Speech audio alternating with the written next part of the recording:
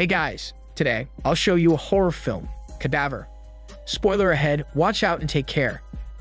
The movie begins by showing a painting of what appears to be the bloody head of a beheaded sheep. It is placed on a posh plate, including a knife and fork in the sides. Inside a massive house, kids are shown running around the corridor and the stairs, scavenging abandoned clothes trashed on the floor. The scene is a landscape of a ruined city. The fogs are forming all over the worn out buildings that make them hard to see. The people are seen to be in extreme danger and are only taking advantage of what was left in the ruined city. A child goes to one of the buildings alone. Her parents are looking for her, and they find her staring through an open door. They realize that someone in that room has hung herself and taken her own life. It is revealed that a nuclear disaster is what hit this city. Thousands of newspapers are trashed on the streets, and the headlines say nuclear disaster. We can see that the people debate whether this incident is a nuclear accident or intentional. At the start of the movie, this is the question that engages the viewers to think about what is in the story. One day, Leonora wakes up from one of the buildings. She goes to a room to check if her daughter, Alice, is safe. Leonora notices that the bed seems empty as she wonders where her daughter has gone. To make sure of it, she pulls the blanket and sees nothing. Leonora is starting to become paranoid and starts screaming the name Alice repeatedly. This lady wakes up again, implying that all of what happened was only her dream. We can now see that this movie has a dystopian setup of a society. The main characters and the environment are manifesting remnants of trauma and tragedy. Leonora continues to check if Alice is in the room. Unlike in the dream, Alice is present and she says that she has heard things again. Her mother starts to comfort her to sleep.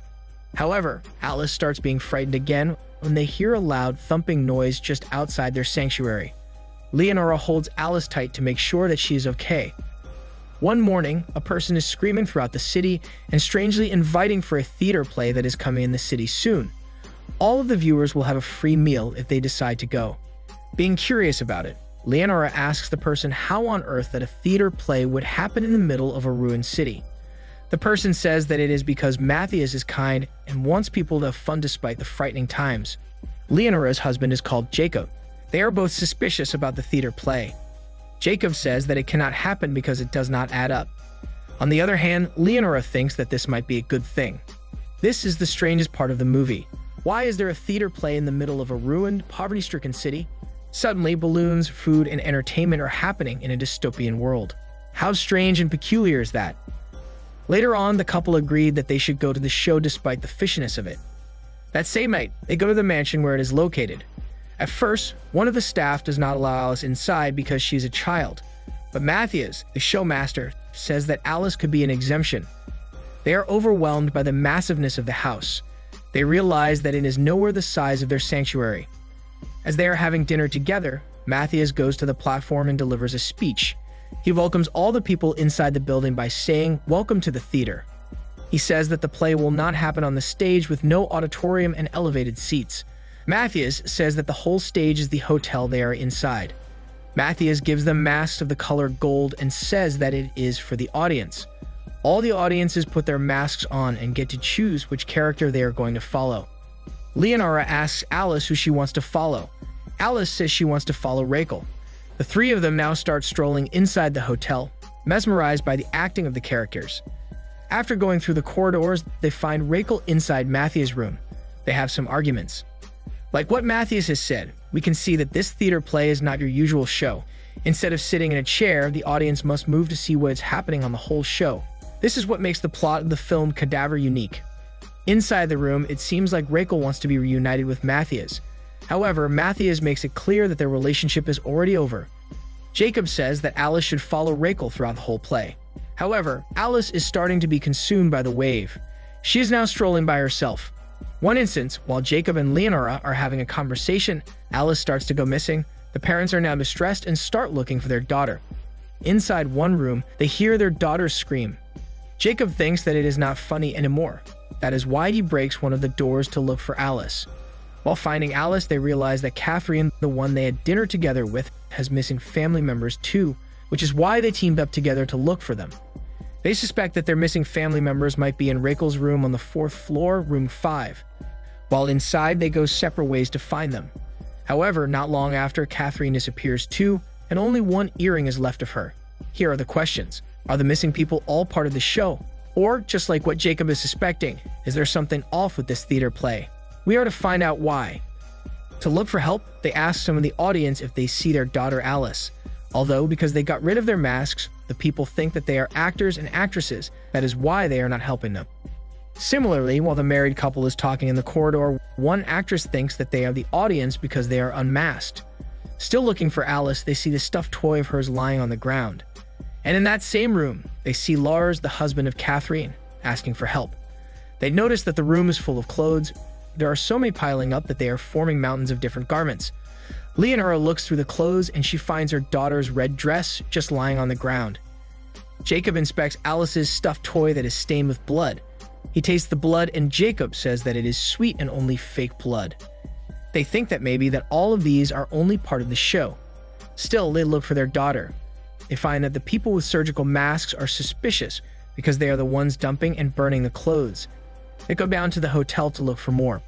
Not long after, an actor wearing white clothes comes after Jacob and puts a knife on his throat. Jacob fights him and tells Leonor to run. Leonor escapes the scene as the actor is chasing her. She goes to hide inside a closet. The actor is about to find her, but a woman says that all the actors are needed in the ballroom. Whether this show is real or not, it is surely getting into the audience's nerves. Leonor does not think of this as a harmless show anymore. This feature in a movie is good. It is like putting the film watchers in the characters' shoes, both as audiences. Leonor goes to the meeting of the actors and actresses. She finds out that Catherine is also one of the actresses and not the audience. Leonor has been seeing and hearing her daughter Alice in her imagination. Her mind is starting to collapse as she cannot get Alice out of her mind. All she wants is to find her daughter, but the only dimension she finds Alice in is solely in her mind. The second batch of the show's viewers is starting to come inside the hotel. Leonor finds herself looking at the same painting of a beheaded sheep inside different rooms all over again. Being curious about it, she goes near to inspect it. Leonor is touching it to make sure that there is not something behind it. In the lower part of the painting, she sees a silver button, immediately pushing it.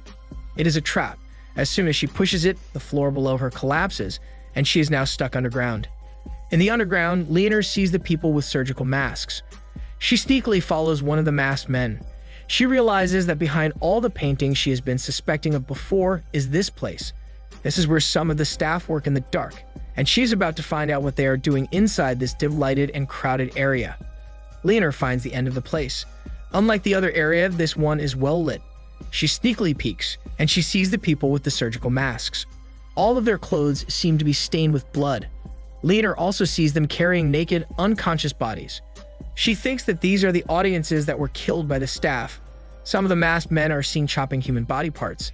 This explains why their uniforms are full of blood.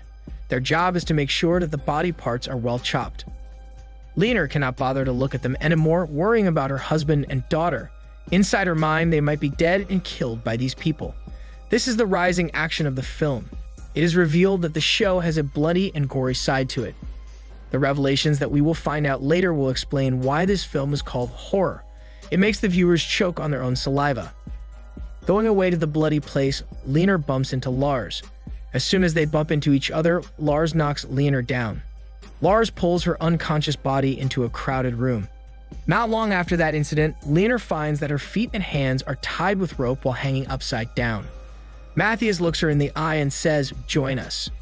Matthias says that Leonor is the longest person who has survived the theater play. Leonor realizes that the hotel has so much food despite the famine because they are eating all the human audience. Leonor begs Matthias to let her go so she can be with her family. Leonor refuses the invitation of Matthias to join their team. He says it is a shame because her husband, Jacob, accepted the invitation and understood their situation. Matthias pulls inside his suit the red dress of Alice. He apologizes and says that he did not mean to take Alice away from her. As soon as Alice sees the dress, she becomes distressed, and she asks him where he put her daughter. Matthias orders Lars to finish off Alice. However, as he is about to cut her throat, Jacob comes into the scene. Jacob says to Lars that he will try to convince his wife to join the team. He says to Leonor that they can do so many things in the hotel, unlike the outside world, wherein they barely eat food. Leonor insists that she will not join the hotel. That is why Jacob gives up and requests Lars if he could make the killing. Lars gives the knife to Jacob for him to kill his wife. Little does he know, Jacob lunges at him and punches him in the face, making him touch the floor. Jacob then immediately uses the knife to free his wife from the rope. However, Lars stabs Jacob from behind, leaving him dying. After he stabs Jacob, he immediately goes to Leonor to be his next target. To protect herself, Leonor bites Lars' wrist and pushes him to the sharp hook, leaving him dead and with a big hole around his stomach. This scene explains that even when they get to be murderers, some of the people, like Lars, still join the hotel for the sake of their family.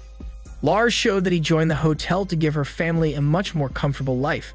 The film is trying to say that, in a dystopian, famine stricken society, even good people can do bad things for them to survive.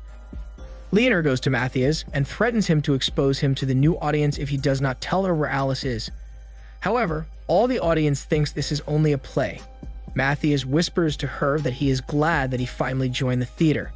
Leonor gets an idea to convince the audience that she is telling the truth. Using her acting skills, she wants to make the audience intrigued by her, follow her character, and shove them where they chop the people. While acting, all of the audience follow Leonor. Matthias gets distressed and orders the team to stop them. Leonor is successful in her plan.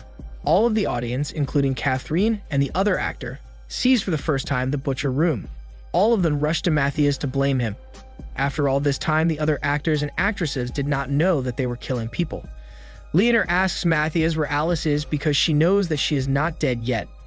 Suddenly coming into the scene, Rakel stabs Matthias in the stomach. Matthias says that he kept Alice alive because she reminds him of her late daughter. Matthias is slowly dying and gets picked up by the people. In the end, Leonor is reunited with her daughter, Alice. This time, it is not her imagination anymore. Knowing that she is real, she hugs her and makes sure that Matthias and all the other bad people will never separate them again. They go outside the hotel and go back to the place where they belong. This is Daniel CC Movie Channel. Stay safe and enjoy your fun for today.